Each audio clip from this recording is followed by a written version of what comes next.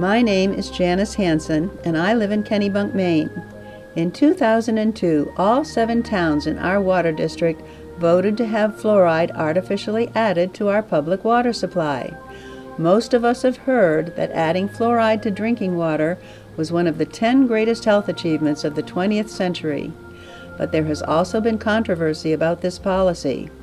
I wanted to know exactly why and how fluoride came to be added to our drinking water, so I read these four books.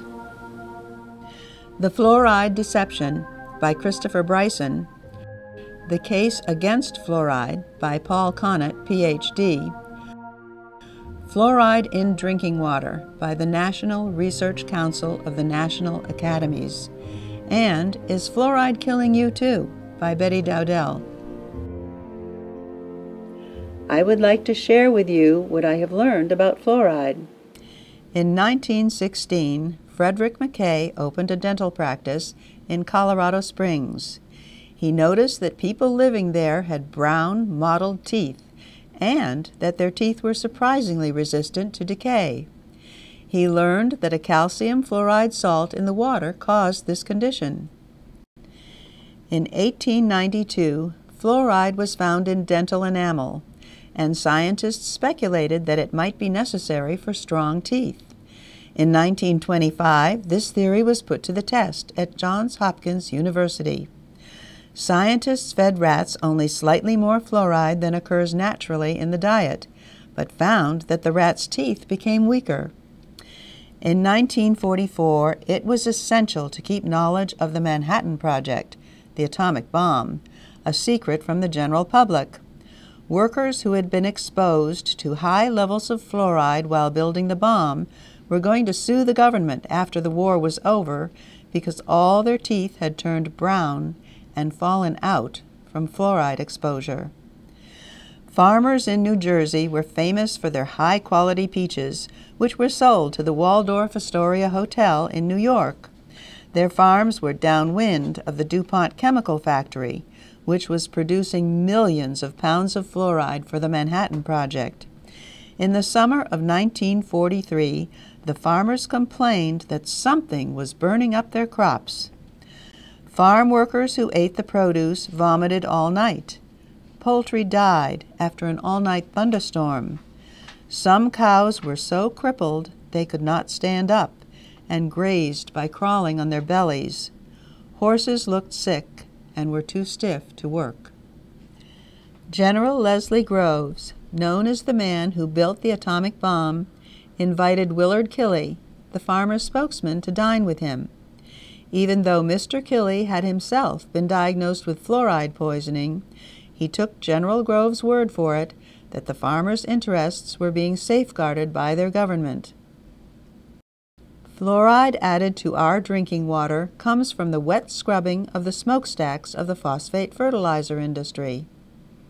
The Environmental Protection Agency requires that this industrial waste product be captured so it doesn't get into the environment where it would kill crops, livestock, and marine life. In 1982, salmon in the Columbia River were tagged. Shortly after the tagging began, the Alcoa Aluminum Company built a smelter on the river, which spewed fluoride into the water. The fluoride narcotized the brains of the salmon so they could no longer find their way upstream to their spawning grounds. The most common source of fluoride in lakes, rivers, and streams comes from artificially fluoridated municipal water supplies. We actually drink approximately 3% of the water that flows out of our taps.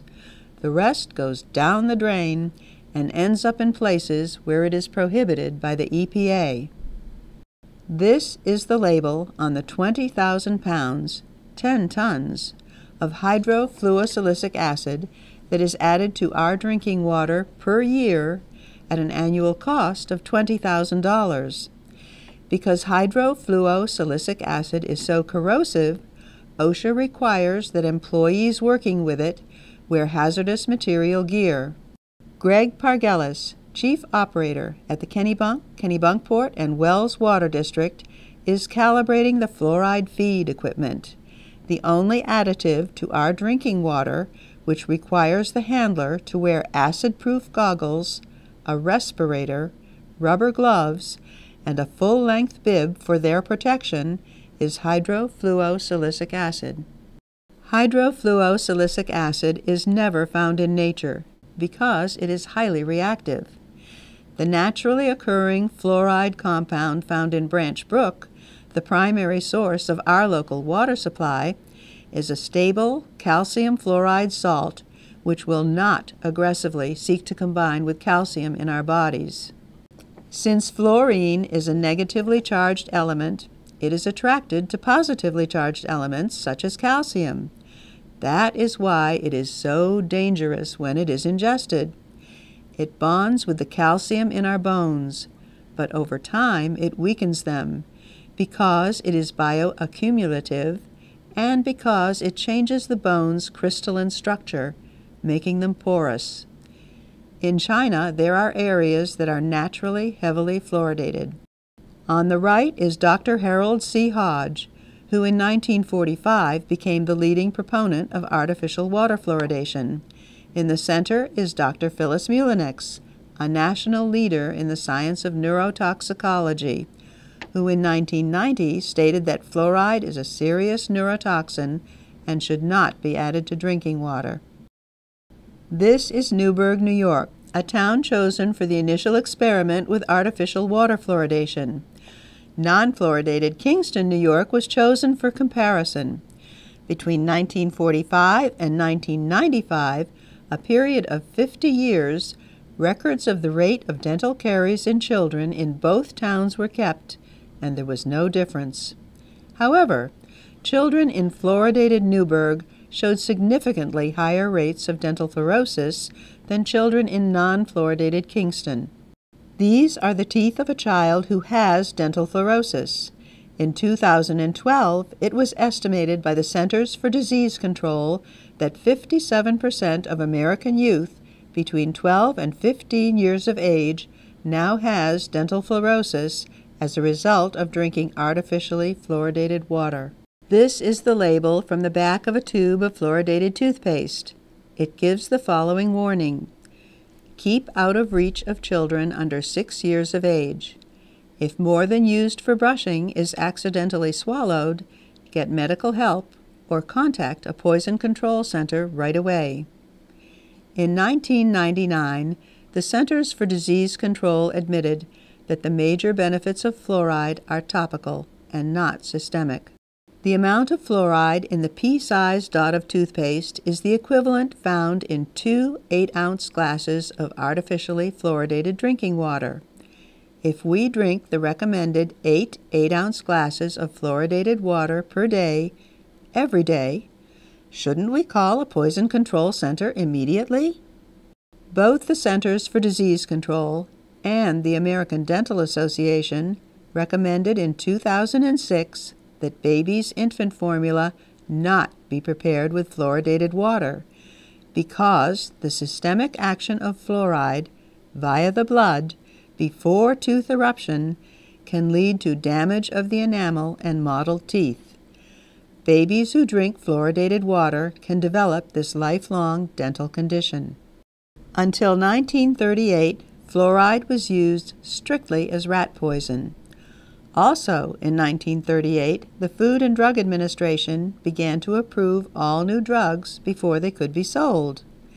However, any drugs already in use in 1938 were grandfathered in.